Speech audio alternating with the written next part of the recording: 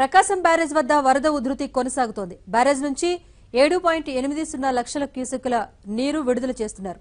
విజయవాడలో నీట మునిగిన రామలింగేశ్వర నగర్ బాలాజీ నగర్లలో మంత్రులు పర్యటించారు. దీనికి సంబంధించి తాజా పరిస్థితిని మా ప్రతినిధి పూర్ణ అందిస్తారు.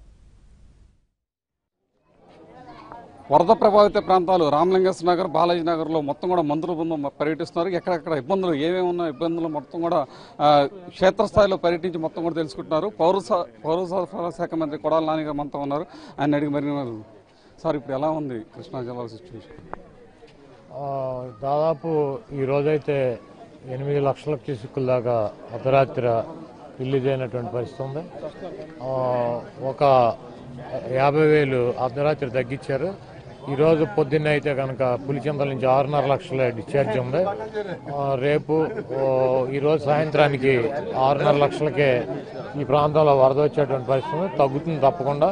ఇక్కడ తాత్కాలికంగా శిబిరాలు ఏర్పాటు చేయటం వాళ్ళందరికీ భోజన ఏర్పాట్లు అవన్నీ కూడా అంటే పౌర సరఫరా శాఖ సంబంధంగా ఏ విధమైన చర్యలు తీసుకుంటున్నారు సా- పౌర సరఫరాల శాఖ అని కాదు ప్రభుత్వం ఇక్కడ ఉన్నటువంటి ఇళ్ళలో మునిగిపోయినటువంటి పేదలకు కానీ ఇళ్ళ వరదలో చిక్కున్నటువంటి వారికి మా డిపార్ట్మెంట్ నుంచి నిత్యావసర వస్తువులు అంటే బియ్యం మా దగ్గర నుంచి సప్లై చేయటం అదేవిధంగా పప్పు ధాన్యాలు కూడా మా డిపార్ట్మెంటే ఉల్లిపాయలు మిగిలినటువంటి కూరగాయలు మార్కెటింగ్ కమిటీ నుంచి సప్లై చేస్తాం. ప్రధానంగా కృష్ణా జిల్లా చూసుకుంటే అవినిగేట నా- నాగాలంక దివిసీమ ప్రాంతంతో పాటు చల్లపల్లి ఆ ప్రాంతాలు కొంత కూడా ముంపు గురైన ప్రాంతాలు ఉన్నాయి. వాటి కాడ ఎటువంటి సహాయ చర్యలు కొనసాగుతున్నాయి? అధికారులు అయితే అప్రమత్తంగా ఉన్నారు. కాకపోతే ఈ లోటత్తు లోటు లోతు ఉన్నటువంటి ప్రాంతాలు దాదాపు ఎనిమిది లక్షల క్యూసిక్ వాటర్ అంటే తప్పకుండా మునుగుతుంది. వాళ్ళ సాయంత్రానికి ఐదు ఆరు ఆరున్నర లక్షల క్యూసిక్లకి తగ్గుతుంది. అంటే ఇంకా రెండు అడుగులు రెండున్నర అడుగులు హైట్ నీళ్ళు తగ్గేటువంటి పరిస్థితి ఉంటుంది. తప్పకుండా సాయంత్రానికి కొంతవరకు నీళ్ళు క్లియర్ అవుతాయి. పైన ఉన్నటువంటి పరిస్థితుల్లో ఇంకా రోజు రోజుకి వాటర్ తగ్గుతుంది కానీ పెరిగే అవకాశం లేదని చెప్పి అధికారులు చెబుతున్నారు. ఏదేమైనప్పటికీ ఇక్కడ వాల్ కడతాం సగం వాల్ నిర్మించకపోవటం. ఈ కట్టినటువంటి వాల్లో డ్రైన్ వెళ్తాకని చెప్పి తుమ్ములు పెడతాం. దాంట్లో దాంట్లోంచి నీళ్ళు ఎదురుతనే ఈ ప్రాంతం అంతా మునగటం జరుగుతుంది. ఇటువంటి సాంకేతిక లోపాలు లేకుండా వాటన్నింటిని కూడా రెక్టిఫై చేస్తాం. అలాగే దీనికి సంబంధించి మనతో మాట్లాడడానికి ఇరిగేషన్ మంత్రి అనిల్ కుమార్ యాదవ్ గారు మనతో ఉన్నారు. ఆయన కూడా మరిన్ని వాళ్ళు సార్ చెప్పండి ఈరోజు చూసుకుంటే మొత్తం కూడా సిచ్యువేషన్ అండర్ కంట్రోల్ వచ్చిందని చెప్తున్నారు. ఎందుకంటే పులిచింతలో కూడా ఏదైతే ఇన్ఫ్లో కానీ అవుట్ఫ్లో కూడా కొంత తగ్గుముఖం పట్టిందని చెప్తున్నారు. ఆల్మోస్ట్ వాటర్ కూడా రిసీడింగ్ ఫ్లడ్ కూడా రిసీడింగ్లో ఉంది. ఈరోజు రోజు మార్నింగ్ పుల్చింతల్లో కూడా నుంచి నిన్న ఏదైతే నిన్న మార్నింగ్ ఎయిట్ ల్యాక్స్ వదిలేరు ఇప్పుడు మార్నింగ్ వచ్చి తలకి సిక్స్ పాయింట్ ఫైవ్కి తగ్గించడం వచ్చేయడం తగ్గింది. సో నిదానంగా తగ్గుతూ వస్తూ ఉంటుంది. ఈ ప్రాంతంలో ఏదైతే నిన్న ఈవినింగ్ దాకా ఈ ప్రాబ్లం లేదు కానీ ఏదైతే రిటైనింగ్ వాల్ కట్టారో దానికి సంబంధించి కింద ఉన్న స్లూయిస్ లాగా ఏదైతే ఉందో దాన్ని ఎక్స్పెక్ట్ చేయకుండా వీళ్ళు ఎప్పటికీ శాండ్స్ క్లోజ్ చేసినా వచ్చిన హెవీ ఫ్లడ్ వల్ల దాన్ని కొట్టుకోవడంతో ఈ ప్రాంతం అంతా కూడా ఇక్కడ మునిగిపోవడం జరిగింది.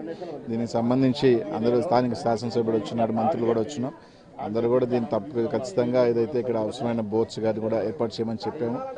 ఇంకొక రెండు రోజుల లోపల పూర్తిగా కూడా అప్పటికే త- ఈవినింగ్ కల్లా కూడా తగ్గిపోయే అవకాశాలు కూడా ఉన్నాయి. బట్ టూ డేస్కి అంతా కూడా నార్మల్గా వచ్చేస్తుంది almost it come down to four to five lakhs కూడా తగ్గిపోతుంది. నాలుగు ఐదు లక్షలకు వచ్చేస్తే ఆటోమేటిక్గా ఇనండేషన్ కూడా అంతా కూడా తగ్గే అవకాశాలు కూడా పూర్తిగా ఉన్నాయి. ఆల్మెట్టి శ్రీశైలం నుంచి కూడా ఇన్ఫ్లోస్ తగ్గుతున్నాయండి తగ్గిపోయినాయి. ఈవెన్ ఆల్మెట్టీలో కూడా ఇప్పుడు దాదాపు నాలుగు లక్షల చేంజ్ నిన్నటికే. సో దాదాపు ఇంకా చూస్తే ఇంకా నీకు ఐదు లక్షలు నాలుగు లక్షలకు కూడా ఇంకా కూడా ఇంకా తగ్గే ఫ్లడ్డే కానీ ఇంకా పెరిగే ఫ్లడ్ ప్రస్తుతానికి అయితే లేదు. సో మొత్తానికి ఇంకా వారం రోజుల్లోనే పూర్తిగా కూడా అన్నీ కూడా ఇంపౌండ్ చేసుకొని క్లోజ్ దాదాపు తగ్గిపోయి పూర్తిగా తగ్గిపోయాయి అంటే విజయవాడలో ప్రత్యేకమైన సిచ్యువేషన్ కనపడుతుంది. ఎందుకంటే వర్షం కూడా రావడంతో కొంత ఇబ్బంది పరిస్థితి నెలకొంది. అంటువ్యాధులు కూడా ప్రాబ్లం వాటికి రాకుండా ఇటువంటి చర్యలు తీసుకోబోతున్నారు. లేదు దీనికి సంబంధించి ఎక్కడైతే క్యాంప్స్ అంతా ఉన్నా కూడా కొంచెం హెల్త్ క్యాంప్స్ కానీ ఇట్లా అన్నీ కూడా కొంచెం ప్రత్యేక శ్రద్ధ తీసుకుంటున్నారు. ఎందుకంటే ఎక్కువ కూడా విజయవాడ ప్రాంతంలో ఏదైతే కరకట్టకు సంబంధించి దాదాపు నాలుగు వేల హౌసెస్ పైనే ఇనండేషన్ అయింది సో ఇక్కడ రిటర్నింగ్ వాళ్ళు ఉన్నా కూడా ఇక్కడ మామూలుగా నిన్న సాయంకాలం దాకా ప్రెస్ లేదు. ఏదైతే శాండ్ బ్యాగ్స్ పెట్టినప్పటికి కూడా వచ్చే ప్రెషర్కి అది కూడా సరిగ్గా నిలవలేకపోయింది. అంచనా కూడా అధికారులు కూడా కొద్దిగా వేయలేకపోయారు. అది తప్ప ఇక్కడ వాటర్ రావడం జరిగింది. అంతా కూడా మేబీ వన్ ఆర్ టూ డేస్లో మొత్తం అంతా కూడా వస్తుంది. వచ్చిన తర్వాత ఖచ్చితంగా అన్ని హౌసెస్కి సంబంధించి ఆదుకునే కార్యక్రమం వాళ్ళకి అన్ని రకాలుగా అండగా ఉండేదని కూడా స్టేట్ వైడ్ ఎక్కడన్నా బండ్స్ ఏమైనా వీక్గా ఉన్నాయా వాటి ప్రస్- ప్రస్తుతానికి ఫ్లడ్లో ఎక్కడ కూడా బ్రీచెస్ ఆఫ్ బండ్ ఎక్కడైతే కూడా జరగలేదు. యాజ్ పర్ ప్రస్తుతానికైతే అన్నీ కూడా కరెక్ట్గానే ఉన్నాయి.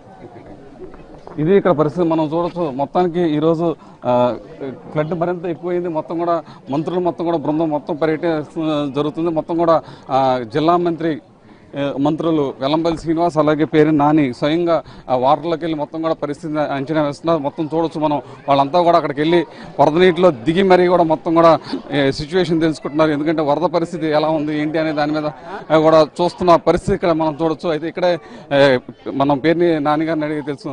నాన్నగారు చెప్పండి ఎలా ఉంది సిచ్యువేషన్ ఓవరాల్గా జిల్లా వ్యాప్తంగా చూసుకుంటే ఇప్పుడు పరిస్థితి ఎలా ఉంది?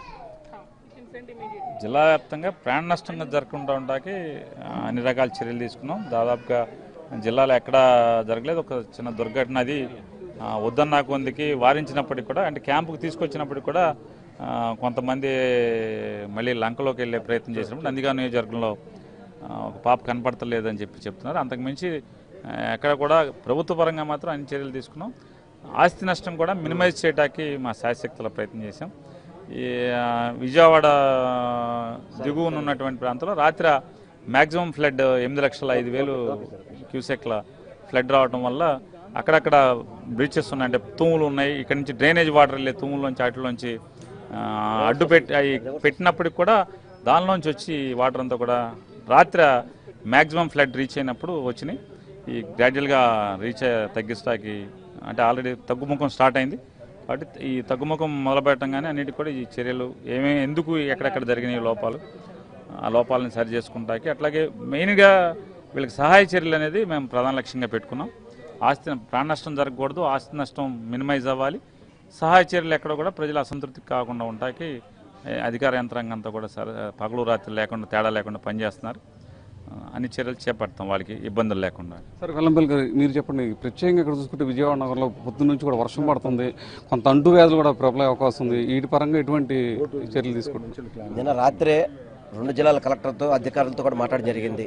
తక్షణమే వాటర్ ఎప్పుడైతే తగ్గిపోతుందో ఆరోగ్య చర్యలన్నీ కూడా పూర్తిగా కూడా హెల్త్ కానీ అదేవిధంగా శానిటేషన్ విషయంలో అశ్రద్ధ లేకుండా ఎడిషనల్ మనుషులను మెన్ పెట్టి అన్ని రకాలు కూడా చేయడానికి సిద్ధంగా ఉన్నాం. అదేవిధంగా గత రెండు మూడు రోజుల నుంచి ఇబ్బంది పడుతున్న వాళ్ళందరికీ కూడా ప్రభుత్వం పూర్తిగా అన్ని విధాలుగా కూడా వారికి అన్ని విధాలుగా కూడా అన్ని సహకారం అందిస్తుంది. తప్పకుండా ఇప్పుడు ఇది అయిపోయిన వెంటనే కూడా హెల్త్ విషయం కానీ అదేవిధంగా మిగతా శానిటేషన్ అన్ని విషయంలో కూడా ముందుగా అందరికీ కూడా చర్యలు ఇవ్వడం జరుగుతుంది.